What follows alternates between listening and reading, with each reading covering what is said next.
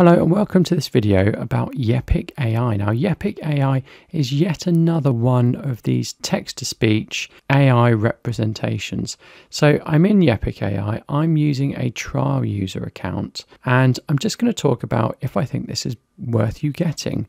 So I've already done videos about Synthesia and Humanatars AI, and you can see those videos here. Let's look at Yepic AI and see if it competes. So I'm looking at the prices for Yepic AI, and I think it's very, very expensive. It's £30 per user per month, and apparently that's a huge saving because they charge £99. Now, for $30 a month, you could get Synthesia. Now, $30 is less than £30. So you get 10 videos per month, whereas you get 15 videos per month with Yepic AI. But I do think Synthesia is better. So I personally would go for Synthesia, even though you get 50% more video renders with Yepic AI. Let's go back to Yepic AI and have a look. So on the trial version, we've got two. We've got a male and female. We've got Mel and Alex, but in the paid version, you've got a lot more sort of avatars. You can upload your own avatar and you can do that in Synthesia as well. But let's go back to the free trial and do Alex. So we type in our script here and we can add pauses. So a comma will do a short pause, a full stop will do a pause, and it looks like three full stops will do a long pause. So I'm going to type something out here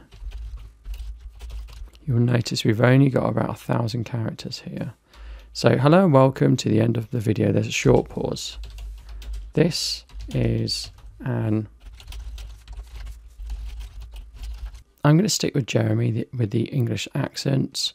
I'm going to have him in the center and I'm going to use the standard background. So we can have colors, we can upload our own, and we can just change the size here if we want to. But I'm just going to leave it at default and I'm going to click create video. This I'm not very happy to see. I've got to wait 24 hours to receive my video and that's about right because I've already done a few tests and they do take a very long time to render even for when it's something as short as this is a pause this is a test. Now here it's really quite annoying. I can't get back to where I was before. All I can do is click on the upgrade button and it takes me here. So I've already said what I think of this in terms of pricing. I think it is expensive. I know these services are expensive, but I'd be more inclined to go with uh, or Synthesia. So now hopefully the video should have arrived to me and I'm going to show you that video.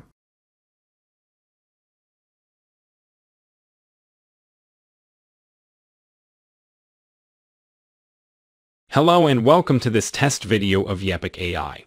I've literally typed in the text and then pressed a button and the video is emailed to me. This is amazing, but is it convincing?